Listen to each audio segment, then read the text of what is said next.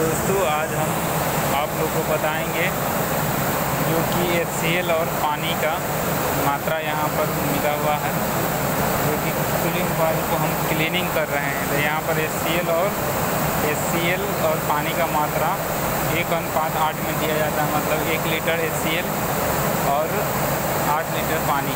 उसी के हिसाब से इसमें बाल्टी में मिलाए हुए हैं और ये मेरा ए का कूलिंग है, जो कि देखिए, अभी केमिकल से पूरा साफ़ हो रहा है। जितना भी डस्ट पार्टिकल गंदा बहुत हो गया था, उसी को साफ़ किया जा रहा है।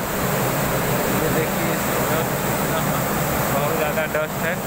उसके बाद ये है मेरा इंडी ड्राफ्ट कूलिंग टावर और ये एक कूलिंग टावर है ये देखिए कूलिंग टावर और ये मेरा दूसरा कूलिंग टावर है ये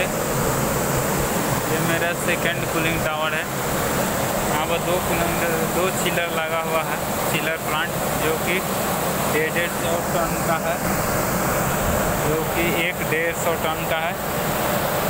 और यहाँ पे ये कूलिंग टावर है। यहाँ पर देखिए मेकअप वाल फ्लोट वाल भी जो दिख रहा है। जो सामने ये फ्लोट वाल है। यही पानी इसमें कमी होता है। यहाँ पर ड्रिप लॉस कुछ होता है।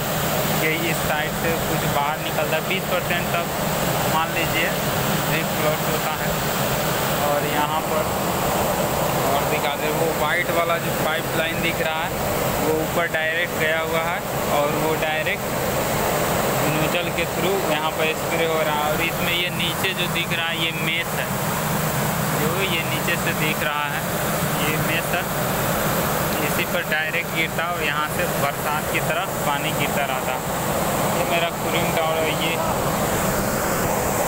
तो ये मेरा कूलिंग टावर ये मेरा जो कंडेंसर से हॉट वाटर आता है, यहाँ से वाइट से और यहाँ से जो ठंडा हो जाता है, ये नीचे से जो लाइन दिख रहा है ब्लू कलर का, ये मेरा कंडेंसर में जाता है और रेफ्रिजरेंट को वेपर से लिक्विड में चेंज करता है और इसे हीट लेकर फिर वापस ये वाइट लाइन दिख रहा है पाइपलाइन उससे आकर ये मेरा कूलिंग टावर में आता है। यहाँ पर कूलिंग टावर में पानी को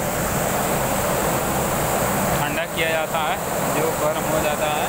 तो इस तरह से मेरा कूलिंग टावर का काम है कंडेंसर से आए हुए हॉट वाटर को ठंडा करना।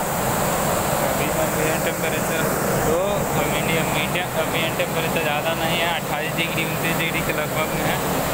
यहाँ पर कूलिंग टावर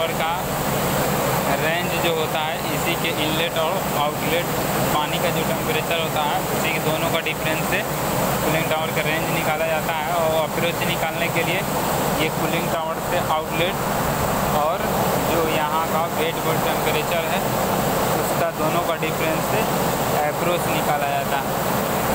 और इसका एफिशिएंसी होता है range by range plus approach unit hundred अगर कूलिंग टावर का एफिशिएंसी निकालना कूलिंग टावर का एफिशिएंसी हवाई अस्सी से नब्बे परसेंट होना चाहिए तो बेस्ट माना जाता। है इस तरह से होता है। ये मेरा इंडी ड्राफ्ट कूलिंग टावर है, जो कि बहुत ही अच्छा है। तो मिलते हैं अगले वीडियो में, फिर नए जानकारी के साथ।